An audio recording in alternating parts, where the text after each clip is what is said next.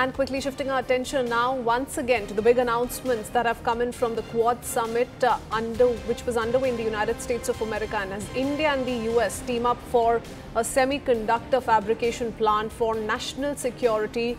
Back home, there's a political war that's broken out after BJP's Amit Malviya took to social media and said that Kolkata is all set to get a semiconductor fab unit and hopes that Mamta Banerjee doesn't ruin this opportunity. The Chief Minister, Mamta Banerjee herself, has lauded her government for the historic investment. So there are two reactions, interesting reactions that have come in from the TMC and the BJP as far as some of those key initiatives during the Quad Summit are concerned. I want to go across to Pallavi joining us with more details. Pallavi, while there's an admission uh, from Amit Malviya that, you know, we're going to see a semiconductor fab unit in uh, West Bengal, he's also in a sense sending out this message to the, to the TMC. How do we view these two reactions that have come in so far?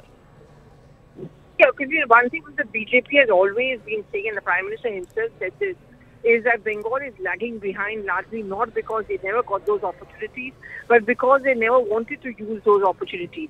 And that is something which Mamata Banerjee has always rejected. See, one thing the Bengal government has complained, whether it's at the GST Council meeting, whether it is in those one-on-one meetings with had with the Prime Minister, that when it comes to giving us central funds, when it comes to giving funds for infrastructure, uh, infrastructure development in Bengal, they have lagged behind because the BJP has been very selective. They have ignored Bengal, and in fact, the campaigns just run by the TMC during the elections was Bangla Birodi BJP, which means the BJP is against the development of Bengal and the Bengalis. So that stage is clear because we have already seen a huge confrontation between the BJP and the TMC recently over the RG Kar incident, and the BJP really wants to establish its base. This is a huge political messaging going in from the Prime Minister that we do care about Bengal, but it's the Bengal Chief Minister who is resisting or becoming a hurdle to all development.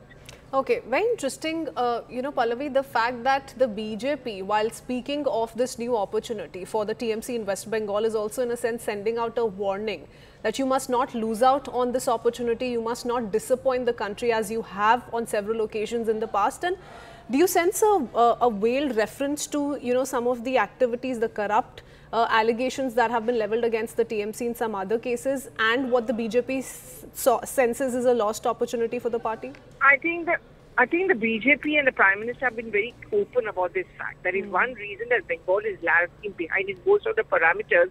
It is only because of the corruption. The money which should actually go for development has been used up by the TMC, by uh, Mamata Banerjee, and as far as uh, hub ministers are concerned.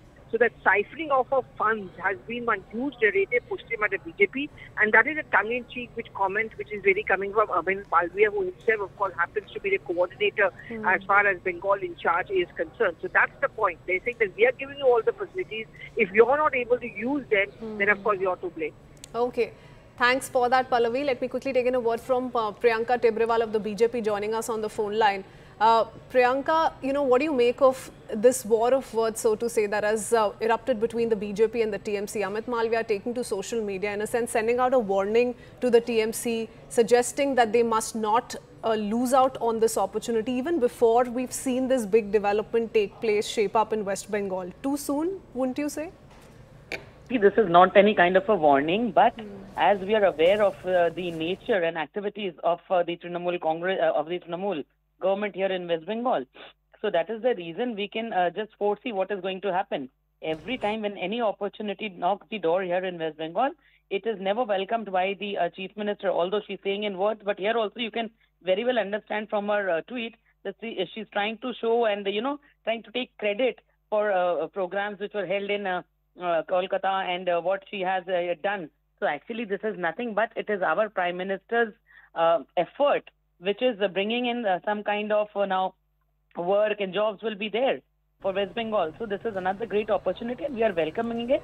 But we would also once again like to say that uh, hopefully we are hoping that Mamata Banerjee will not create any uh, hustle in this and that uh, job opportunities will be open hmm. for uh, yeah, youngsters and uh, okay. boys and men in West Bengal. Okay, Ms. Tibrewal, don't you think, you know, a political exchange such as this uh, right after the big announcement that came in from both uh, President Joe Biden and Prime Minister Narendra Modi quite belittles the very purpose or the idea behind going ahead with such a huge collaboration?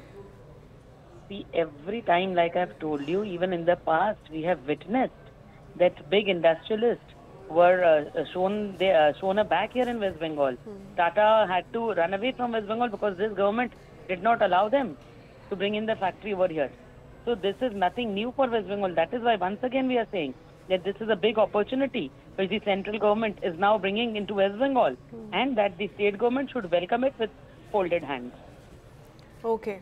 All right. Uh, Priyanka, you know, the TMC, of course, has come out to say that this is a great opportunity, that we're really looking forward to this uh, semiconductor fab facility in Kolkata in uh, West Bengal. And as is, we do see the TMC really not take on the BJP. They're seeing this uh, as an opportunity.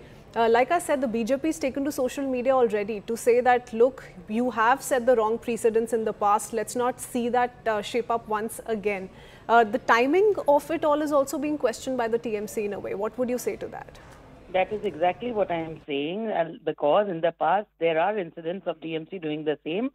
So, uh, like I said, that for the development of West Bengal, this is a great opportunity and that in no kind of an ego should uh, the uh, Trinamool or uh, Mamata Banerjee try to blow this.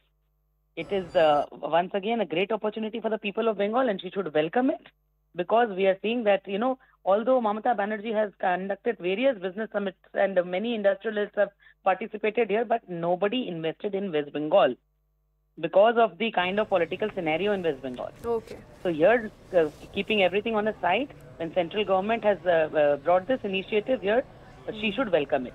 Hmm. She, of course, seems to be taking some sort of credit in this opportunity that Kolkata has been trusted with and says, I assure all support to the emerging investment in this frontier sector and let West Bengal be the true destination for knowledge-based industries. Let's see how the TMC responds to this one coming in from Amit Malviya. Priyanka, many thanks for speaking to us here on CNN News 18. We quickly now shift our attention to another reaction that